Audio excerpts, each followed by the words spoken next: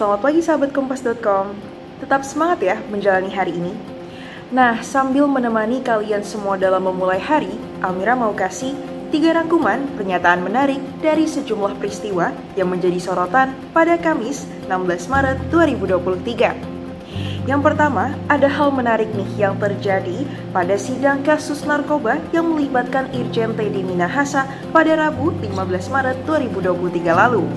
Pasalnya, terdakwa kasus narkoba Linda Puji Astuti alias Anita mengungkapkan bahwa dirinya pernah diajak oleh Teddy Minahasa untuk pergi ke pabrik sabu di Taiwan. Kedua, soal Anwar Usman yang resmi terpilih menjadi Ketua Mahkamah Konstitusi untuk periode 2023 hingga 2028. Ia menang atas Arif Hidayat dengan perolehan 5 berbanding 3 suara. Terakhir, ada sosok apa atau Amanda yang belakangan ini namanya terseret dalam kasus penganiayaan Mario Dandi terhadap David. Amanda mengatakan bahwa dia tidak mengenal AG atau pacar Mario Dandi. Ia bahkan mendatangi Polda Metro Jaya pada Kamis 16 Maret 2023 untuk melaporkan Mario Dandi atas pasal pencemaran nama baik. Hmm, seperti apa ya pernyataan lengkapnya? Yuk simak terus.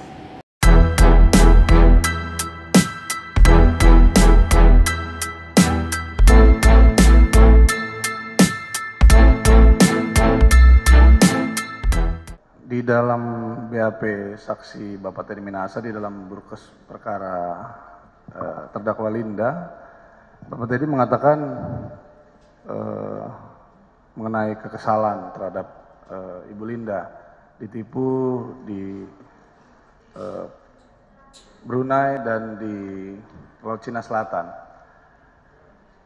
Pertanyaannya eh, dan dan kemudian di sini izin saya kutip yang mulia. Kemudian kedua kemudian kedua saya diajak ke Taiwan dan ditemukan dengan pabrik di sana.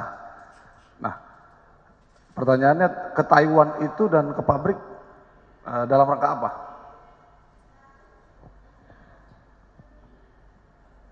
Uh, ke pabrik sabu ke pabrik sabu. Jadi begini, waktu saya gagal pabrik di, sabu. Betul. Jadi waktu saya gagal di Laut Cina uh, itu saya udah minta maaf, katanya hmm, Pak Teddy bilang begini, kamu kenal nggak sama yang bandar yang di sana? Saya bilang, ada Pak Teddy. Pak Teddy bilang begini, begini aja, kita ke sana, kalau mereka mau kirim, kita kawal. Maksudnya gimana Pak Teddy? Ya bilang aja buy one get one, katanya bilang begitu. Ya kita, uh, saya kasih telepon dulu ke sana, saya tanya dulu. Katanya. Jadi kalau misalkan contoh, mereka mau Master X misalkan mau kirim ke Indonesia satu ton, jadi satu ton kita uh, lewat satu ton kita tangkap gitu. Tapi Pak Tedinya nggak mau, jadi uh, kalau satu ton kirim ke sini, Pak Tedinya minta fee 100 miliar. Terkait dengan Linda sendiri seperti apa Bang? Linda kenapa? Ya pengakuannya dia Si Linda, Anda apa yang bisa percaya dari Linda? Waktu dia dia mengaku karena saya tidak ada di pemeriksaan yang sana makanya dia bebas ngomong. Waktu di sini dia saya kau saya bikin Anda mengaku penegak keadilan sebagai cepu. Anda waktu menjual narkoba ke Ranto, Kapolres, Kapolsek, Anda dapat berapa komisi? 60 juta. Lu pakai apa? Untuk kebutuhan rumah tangga. Jadi kau percaya sama orang kayak gitu? Itu aja deh. Apa dia cepu? Apa dia cepu itu kan membantu polisi. Ini 60 juta. Dan kemudian lagi bekerja sebagai neng neng neng neng neng di, di panti biji plus plus. Yang soal pengakuan dia pernah ke pabrik sabu sama itu kan semua dia karang. Kalau orang untuk 60 juta aja sudah dia sikat, apalagi pengakuannya. Mereka berusaha semua untuk agar agar membebankan ke ke Teddy Minahasa agar hukuman dia lebih ringan. Dia dia tidak dia dia lupa terutama Dodi, jangan harap kalau memang dia mengaku menjual, jangan harap dia bebas atas perintah. Ini kan atas ada perintah, dia terlalu sambo. Ajudannya aja nggak ada yang bebas satu. Ini kan AKBP. Bagaimana seorang AKBP mengharap bebas dia seorang AKBP menjual narkoba? Apa maksud dia akal? Harusnya dia mengikuti strategi kita yaitu salah pasal. Harusnya 140 Undang-Undang Narkotika karena itu yang mengatur penyidik yang menyalahgunakan kewenangan kena 140 yang dikenakan 112 114 yaitu untuk siapa aja itu salah pasal itu thank you, thank you.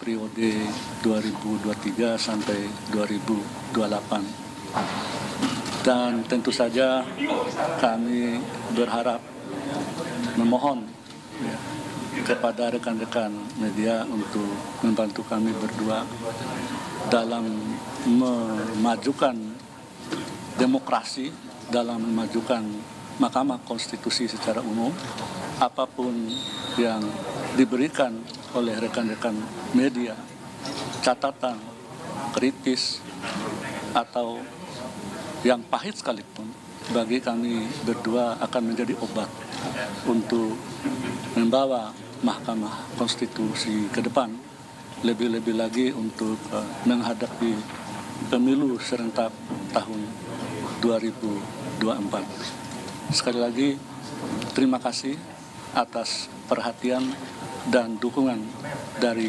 rekan-rekan media. Mungkin akan ditambahkan oleh yang mulia Prof. di satu dua kata. Silakan cukup cukup cukup ya. Ya. Ya, terima kasih teman-teman sekalian. Selamat sore. Assalamualaikum warahmatullahi wabarakatuh. Hari ini melalui proses yang berlangsung cukup panjang ya, dari pukul 11 tadi siang sampai sekarang sudah hampir pukul 4. Kami sudah memulai dengan musyawarah dan akhirnya sampai ke forum terbuka sore hari ini dan telah menghasilkan pimpinan Mahkamah Konstitusi untuk lima tahun ke depan dan kami tentu berdua mengucapkan terima kasih kepada para hakim konstitusi yang sudah uh, apa mempercayai kami untuk memimpin institusi ini ke depan. Juga berterima kasih kepada atensi teman-teman media yang datang pada sore hari ini.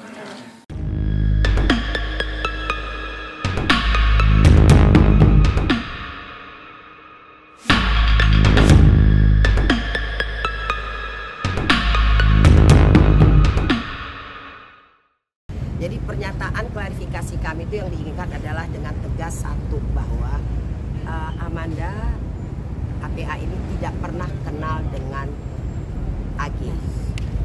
Tidak pernah ada kenal sama sekali. Dan hubungan Amanda dengan MDS sudah berakhir di tahun kemarin di 2002 dan mereka sudah menjalani kehidupan masing-masing.